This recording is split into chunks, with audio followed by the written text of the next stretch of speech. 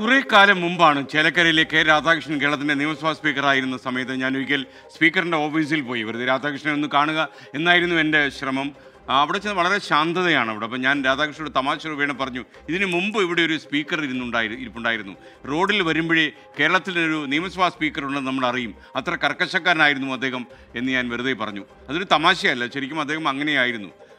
ഈ ദേശാഭിമാനി ലേഖകനായിരുന്ന ആർ സുദർശന ബാബു എന്ന ആർ എസ് ബാബുവിനെതിരെ പ്രസ് പാസ് കേസ് ഉണ്ടായതും അദ്ദേഹത്തിന്റെ കാലത്താണ്. വലിയൊരു കേസായി ഇത് മാറി. R Sudarsana Babu versus Kerala legislative assembly എന്നുള്ളൊരു കേസിന്റെ ഉത്ഭവം തന്നെ അങ്ങനെയാണ്. കേരള നിയമസഭ കണ്ട എക്കാലത്ത് ഈ മികച്ച സ്പീക്കർമാരിൽ ഒരാളായിരുന്നു വിട പറഞ്ഞ വക്കം പുരുഷോത്തമൻ. നിയമസഭയെ അച്ചടക്കമുള്ള സ്ഥലമാക്കി മാറ്റാൻ സ്പീക്കർ എന്ന നിലയിൽ സ്വീകരിച്ച നിലപാടുകൾ വളരെ വളരെ ശ്രദ്ധേയമായിരുന്നു. ഭരണപക്ഷത്തെയും പ്രതിപക്ഷത്തെയും ഒരുപോലെ കണ്ട സ്പീക്കർ എന്നതായിരുന്നു പക്കത്തിന്റെ ഏറ്റവും വലിയ സവിശേഷത. ഏറ്റവും കൂടുതൽ കാലം നിയമസഭാ സ്പീക്കർ സ്ഥാനം വഹിച്ച റെക്കോർഡ് വക്കം പുരുഷോത്തമന്റെ പേരിലാണ്. രണ്ടു തവണ കേരള നിയമസഭയുടെ സഭാനാഥനായി നിയോഗിക്കപ്പെട്ടു. ആയിരത്തി തൊള്ളായിരത്തി എൺപത്തിരണ്ട് എൺപത്തിനാല് കാലത്തായിരുന്നു സ്പീക്കർ പദവിയിലെ ആദ്യ അവസരം. പിന്നീട് രണ്ടായിരത്തി ഒന്ന് മുതൽ രണ്ടായിരത്തി നാല് വരെയും കേരള നിയമസഭയെ നിയന്ത്രിച്ചു. കർക്കശക്കാരനായിരുന്ന സ്പീക്കറായിരുന്നു വക്കം പുരുഷോത്തമൻ. ഭരണപക്ഷത്തോട് പ്രത്യേക മമതയോ പ്രതിപക്ഷത്തോട് പ്രത്യേക വിദ്വേഷമോ ഒരു കാലത്തും കാട്ടിയിട്ടില്ല. എല്ലാവരെയും ഒരുപോലെ കണ്ട് സഭ മുന്നോട്ട് നയിച്ചു. സമയബന്ധിതമായി നിയമസഭ എങ്ങനെ നടത്താമെന്നതിന് വക്കം പുരുഷോത്തമൻ സ്പീക്കറായിരുന്ന കാലയളവ് പാഠപുസ്തകം.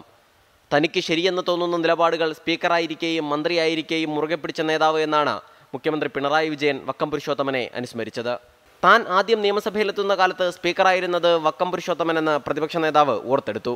ഞങ്ങളെല്ലാം നിയമസഭാ അംഗമായി ആദ്യമായി രണ്ടായിരത്തി ഒന്നിൽ സഭയിലെത്തുമ്പോൾ ഏറ്റവും കർശനക്കാരനായ സ്പീക്കറായിരുന്നു അദ്ദേഹം.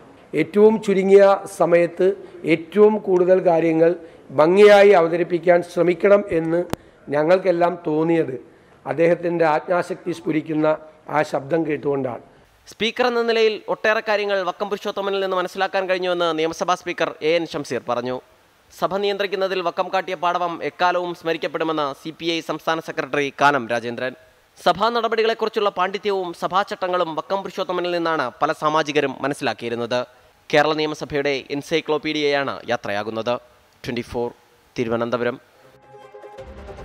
ചട്ടങ്ങൾ നടപ്പാക്കുന്നതിലൊക്കെ വലിയ കണിശക്കാരനായിരുന്നു വക്കം ഋഷോധവൻ മാത്രവുമല്ല ആളുകൾ അദ്ദേഹത്തെ ഭയന്നിരുന്നു എന്നത് ഏറ്റവും പ്രത്യേകതയുള്ള ഒരു കാര്യമാണ്. നിയമങ്ങൾ അനുശാസിക്കുന്ന മാത്രമല്ല ആ നിയമങ്ങൾ തന്റെ ആജ്ഞയ്ക്ക് അനുസൃതമായി നടപ്പിലാക്കപ്പെടണം എന്നുകൂടി ശടിച്ച നേതാവായിരുന്നു സ്പീക്കറായിരുന്നു വക്കം പുരുഷോത്തമൻ. പിന്നീട് അദ്ദേഹം ആൻഡമാൻ നിക്കോബർ ഐലൻഡ്സ് പോലെയുള്ള സ്ഥലങ്ങളിലും ത്രിപുരയിലും അതുപോലെ മിസോറമിലും ഒക്കെ ഗവർണറായി പോയി. അവിടെയൊക്കെ തന്നെ അദ്ദേഹം വരുത്തിയ പരിഷ്കാരങ്ങളും മാറ്റങ്ങളും അവിടുത്തെ ജനങ്ങൾ ഇപ്പോഴും കാണാപ്പാടമാണ് കാര്യങ്ങൾ നടത്തിയെടുക്കുന്ന കാര്യത്തിൽ ഈ പൊതുപ്രവർത്തകൻ കാണിച്ച കാര്യക്ഷമത ഇക്കാലത്തും എക്കാലത്തും സ്മരിക്കപ്പെടും എന്ന കാര്യത്തിൽ സംശയമില്ല.